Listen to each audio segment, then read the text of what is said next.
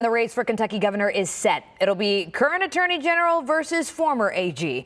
Republican Daniel Cameron will try to unseat Democratic incumbent Andy Beshear. Yeah, the current attorney general makes history, though, as the Republican nominee, raking in nearly 50% of the vote. WCPO 9 News anchor Brett Bagansky is in Louisville tonight with how Cameron plans on unifying the party after a tough primary.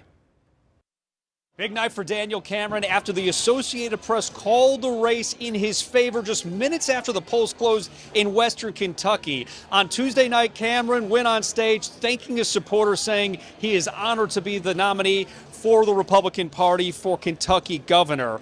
And Cameron's message was a referendum on Governor Andy Beshear, specifically for how the governor handled the pandemic, his administration policies about school curriculum, and his stance on transgender student athletes playing women's sports. But he also talked about unifying the Republican Party, including the 11 other people he defeated in this primary election. Like you and me, they care deeply about the future of the Commonwealth. And they know to get Kentucky back on track, we have one mission. And that one mission is to retire Andy Beshear from the governor's office. And together we can do that. Cameron thanked former President Donald Trump for his endorsement, and the former president also released a statement Tuesday about Cameron's victory, but never mentioned Cameron's name in the actual message, but instead took a dig at Ron DeSantis, saying the results from Kentucky reaffirm he is still the leader of the Republican Party. Cameron made history Tuesday night. He is the first African American nominee from a major political party to be running for Kentucky governor. And this November, he will try to make even more history. In Louisville, Brett Bagansky, WCPO 9 News. Cameron's path to governor only gets more difficult from here. He faces off against current governor Andy Beshear, who had two challengers tonight and handily won against them. Beshear addressed supporters at the podium as they chanted they want four more years. Beshear wasted no time touting his achievements. Everything we're doing right now is about building for the future. These three years of record setting economic development should lead us into 30 years of progress and prosperity. Just in the last three years, $24 billion in new private sector investment here in Kentucky.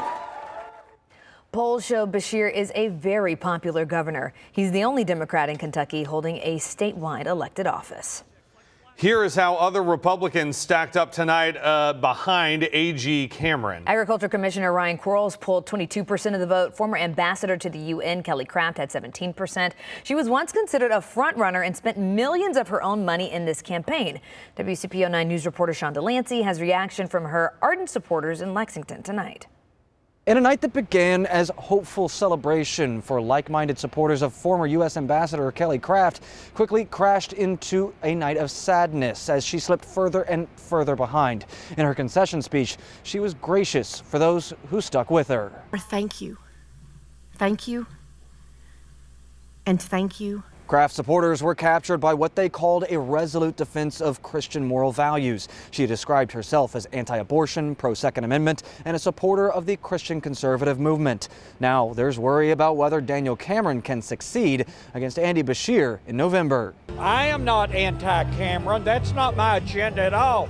But I truly believe her, what she says, what she stands for, and her purpose in running for governor gives us the best chance to unseat the, the current governor. In her concession speech, Craft called for the Republican Party to unify against Beshear. It is worth noting that she avoided saying Cameron's name when calling for that unity. In Lexington, I'm Sean Delancey, WCPO 9 News.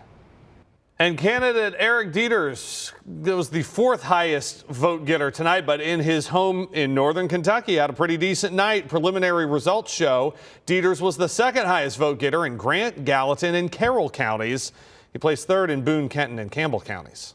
All right, let's get you caught up with the rest of the results. Incumbent Secretary of State Michael Adams easily defeated his challengers. He wins the nomination to fight for a second term.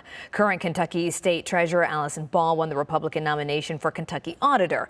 Mark Metcalf won the nomination for Treasurer on the GOP side.